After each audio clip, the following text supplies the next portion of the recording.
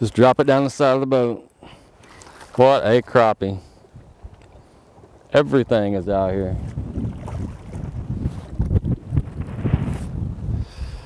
That's a big crappie.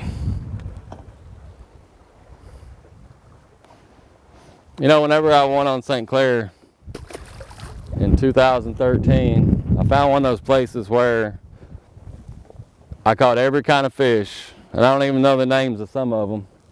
And I end up winning the event. And that's how this is. Like when you find an area that has all kinds of fish, they're just there to eat. Like all of these fish are here to eat.